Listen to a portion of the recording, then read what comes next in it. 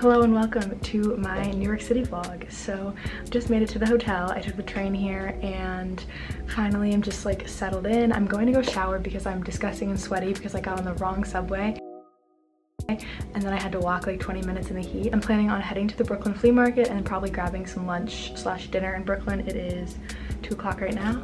So I'm so excited, let's go. Fit for day one. I've got this thrifted skirt that I think is so pretty. Um, I've got this Brandy Melville tube top. And then those are the shoes I'm wearing.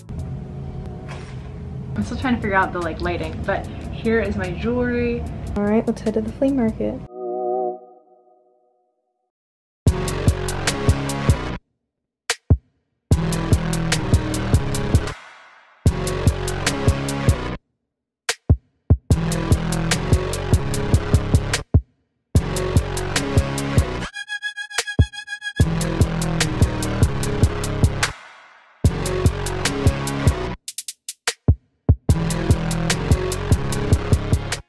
I'm at dinner at this ramen place. I just got two appetizers because I'm thinking that I'm not that hungry, so we'll see if I want to get something later. But it has the cutest little outdoor setup.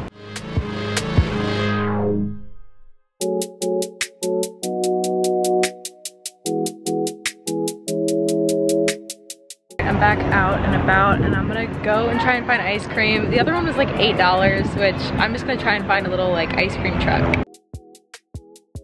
That was me pretending to get back into the room. 8.48, still light outside. I'm gonna hit the hay. We finished with 24,138 steps and 10.5 miles.